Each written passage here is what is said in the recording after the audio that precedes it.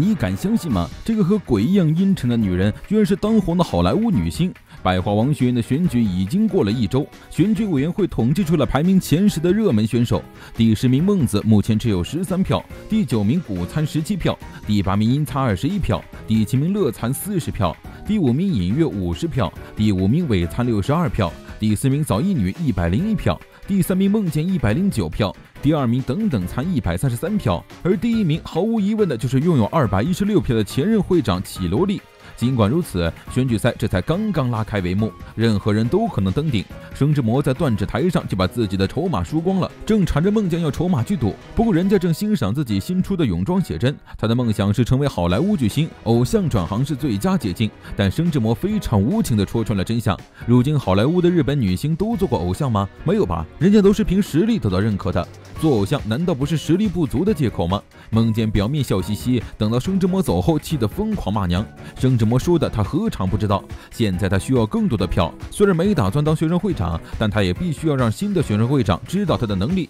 为了获得奥斯卡，他必须依靠学校的力量。但是他们已经拿走了粉丝俱乐部的票，还要下去就真的要去赌博了。孟建脑筋一转，那就是扩展新的粉丝吧。于是找上了孟子，希望孟子和他搞一个姐妹复合演唱会来吸引赌博，得到的选票就由他们平分。而就在孟子犹豫之时，教室里突然一阵喧哗，真正的好莱坞女星民族花雨流走进了教室。居然能在这里见到偶像，梦见二话不说就冲上去套近乎。他是民族的忠实粉丝，梦想就是能成为和对方一样的演员。出乎意料的是，民族居然也知道他的名字。梦见喜极而泣，但不要误会，民族对日本的偶像不感兴趣，也完全没听说过梦见，不过是为了了解选举战的对手。没错，他的原名叫做何乐参，就是那个比女鬼还阴沉的百参一族的人。不愧是好莱坞女星，这变脸术堪称一绝。民族来此的目的是为了赌博，但他要找的人却并不是如今。位列第三的梦见，而是只拥有十三票的孟子，或者说他完全没有把梦见放在眼里。反正这场选举赛都会变成族人之间的争斗，其他人根本不成问题。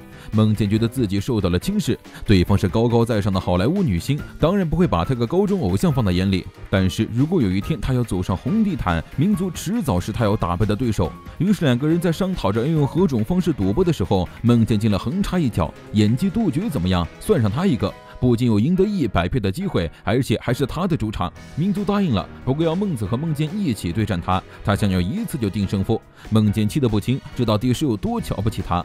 最终的比试定为了在超过百人的观众面前三回合演技决斗。尹月只觉得孟建脑子有问题，人家是世界级的女星，用演技对赌无异于是自杀。其实她根本就不在乎输赢，只想和对方比演技是吧？事实也确实如此。民族是孟建一直冲着的目标，能和对方进行演技对赌是他无上的荣光。但是他可没想着要认输。自从上次和阴阳参的比赛过后，副会长就和背后灵一样紧紧跟在早一女身后，搞得早一女不堪其扰。虽然之前约定好了一起赢得选举，但他毕竟做出了利用孟子来威胁的事，早一女完全无法信任他。而且所谓约定，不是他这种什么事情都无法自己决定的人能做到的。总而言之，早一女是不会和现在的副会长合作的。即使希望渺茫，他也要凭借自己的意志做出判决。这种决断才是所谓的赌博。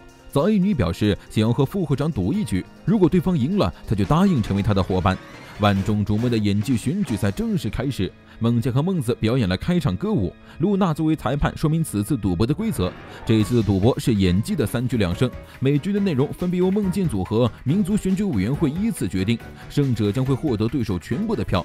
第一局是孟建决定的唱歌比拼，作为职业爱豆，他的唱歌能力当然不会差，无论用什么手段，他都一定要赢。很明显，对方也在想着同样的事，必胜和必胜的对撞，必然有一个会沦为骗子。践踏自身决议带来的风险，让孟子兴奋不已。他表示。自己会全力协助孟建。然而，民族毕竟是好莱坞的女星，唱歌自然也是经过专业训练的。一首《奇异恩典》瞬间俘获了包括孟建在内所有观众的心。唱歌也是演技，将注入歌词和旋律中的情感表现出来。对于演技来说，演员是不纯之物，需要的只有表演本身。然而，对于孟建来说，唱歌只是唱在调上，可爱的跳舞，这不过是一种自我满足的手段。民族的歌声确实比孟建好上万倍，但即便如此，孟建也坚信自己会赢，因为他早就在暗中收买了一百名观众中的八十人，那些人都会将票投给他。然而，等到公布结果的时候，孟建傻眼了，民族的得分足足有九十二票，而他不过可怜的八票，对方以八十四分的压倒性差距赢得了第一局的胜利。收买了观众的孟建，按理说根本不可能输。出现这个结果只有一个可能，那就是民族料到了孟健的作弊手段，以双倍的价格进行了再次收买，而且手段也非常高明。他没有让对方投票给他，而是投给更能打动人心的那个，结局自然不言而喻。不管是赌徒还是演员，对方都毫无破绽，孟健几乎束手无策。实力比不过，弱点也找不到，这样的对手到底该怎么办？反观孟子的表情却异常兴奋。第二局是民族提出的比赛，死亡马卡龙。规则很简单，接下来两两队要依次吃掉各自的三个马卡龙，但其中一个是掺了大量辣椒酱的死亡马卡龙。猜猜对方吃掉的哪个是死亡马卡龙？用更少的次数猜对的队伍获胜。为此，露娜还亲身体验了一下死亡马卡龙的辣度，被辣得转头就跑。控制生理现象是演技的基础，也是最难的一种。为了在演技上战胜民族，孟健主动提出这局由他来。比赛正式开始，双方拿起 A 碟里的马卡龙开始试吃。民族的表情非常淡定，反观孟健的表情完全扭曲。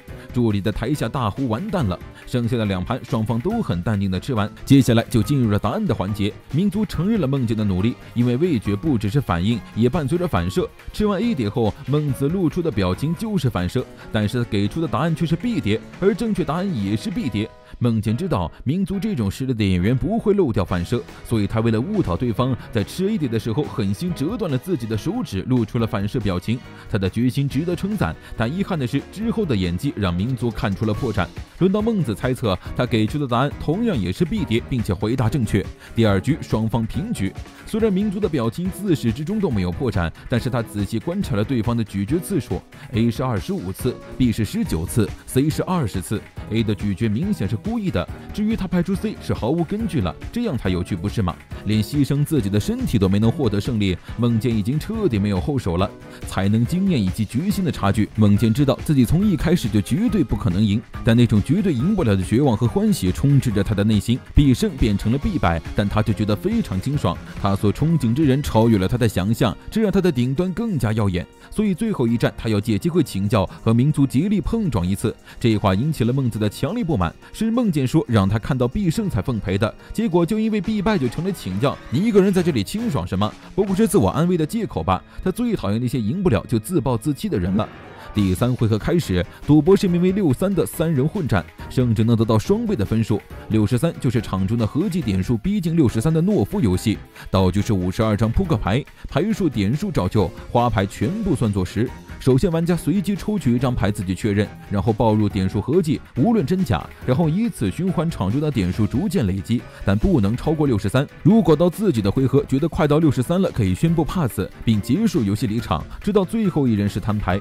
如果合计点数没有超过六十三，则留下的人获胜；如果超过了六十三，留下的人失败。这一场比赛最终还是能更精确预测场中合计人数更占优势。孟子和孟建有共享情报的优势，孟建也是这么想的。但是他在做暗号的时候，孟子却完全不干他。孟子表示自己要一个人战斗。孟健在畏惧民族，向往着高处，却自叹不如。他对这份愚蠢彻底失望了。通过仔细的观察，民族确定这两人确实已经闹崩了。